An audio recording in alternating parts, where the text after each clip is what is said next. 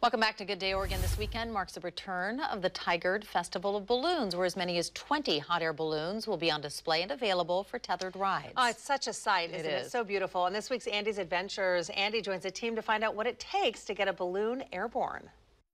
All right, I'm with uh, Laura, who is the pilot, and my life is in your hands today. yeah. So, so tell us a little bit about what's going to happen today. Okay, so what we're going to do is we're going to assemble the balloon. We're going to put on its uprights, attach the envelope, lay it all over on its side, get a great big inflator fan, and fill it with hot with cold air. Mm-hmm. Just so it'll be a hot air balloon laying on its side here.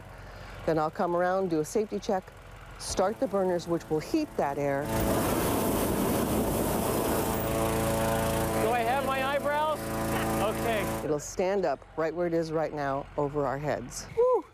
Woo! It gets a little warm. I think I had enough adrenaline right there. We're good. Thank you so much. Have a great day.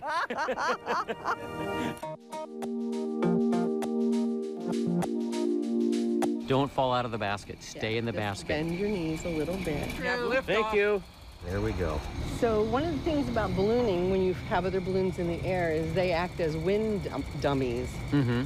So I can see what the wind is doing by where they are and what direction they're going.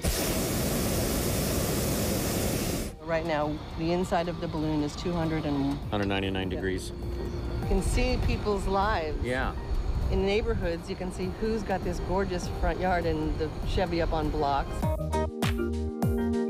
So what do you like best about the hot air ballooning compared to other things? People Mhm. would be number one. They have a passion for the outdoors, of morning, of the stillness and the beauty of it, and the romance of no engine that we share. They're my favorite people in the world. My buddy Tony Martinez uh, has- has said this before, but landing a hot air balloon is almost like a controlled crash. No comment. Bring it right depends down. entirely on the wind. Okay. If it's a perfectly calm day, you don't even know you've landed. Okay. If you're landing at 20 miles an hour, you You're gonna know definitely know.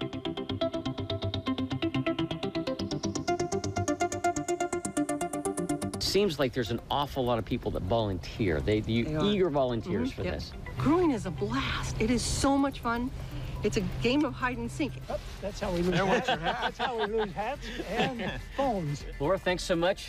Thank you to the crew. That was awesome. You're and welcome. uh, to many more flights. To many more. And to soft landings. Yes, indeed, the soft landings. Love those.